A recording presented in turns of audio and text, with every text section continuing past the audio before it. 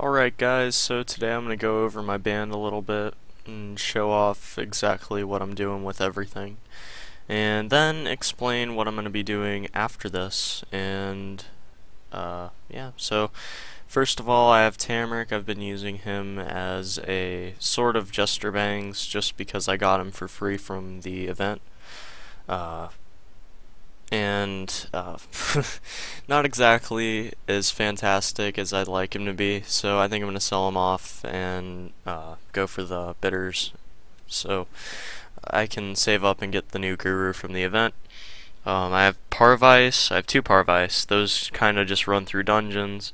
I have a uh, Azpeka that I got for a really good price actually. I got it for just about uh, 80 bitters. So not a bad price for one of these. I've seen them upwards of 100 whenever they have edge, so definitely going to be looking for it for this next dungeon, and even farther out, maybe it might have edge for the next PvP, so I'm not sure, but we'll see. Also very useful in raid and siege events, so Good stuff. Jester Bangs I've been using for raid and for siege for the bosses for siege and for the bosses, all of them in raid. Uh, very helpful with the Paragon, all around a really good thing to have. I'm probably going to be selling Jester Bangs and Azpeka for a profit, both of them a profit since I got Jester Bangs for 100. I think I can probably get a profit for him and then Azpeka, I got it. I, I, got her for 80. There's no way I can. I'm not gonna profit. So uh, gonna sell them. Go for the new all target guru that's gonna be out for the end of the event. Hopefully, I can get a couple of the legendaries. Uh, we have the Amaralises. I'm gonna keep those because they're really, really good, and they're part of my PvP band, and I don't want to like break that up or anything. Uh, so keeping those.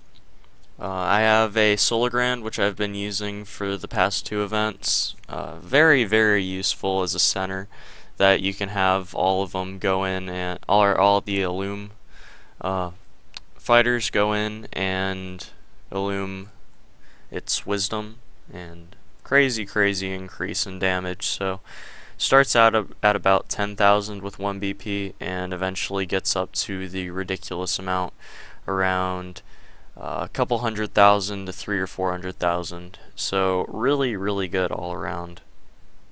Probably gonna sell that as well.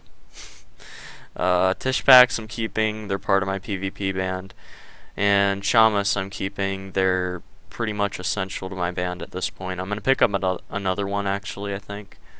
Uh, that's about it. That's about it. So. Yeah, right now I'm taking down sentries because I'm going to get this right here. This uh, achievement. So, you know, very good, very good. So, definitely going to get that, and that's the reason why I have what looks like a PvP band right now. So, overall, going very well.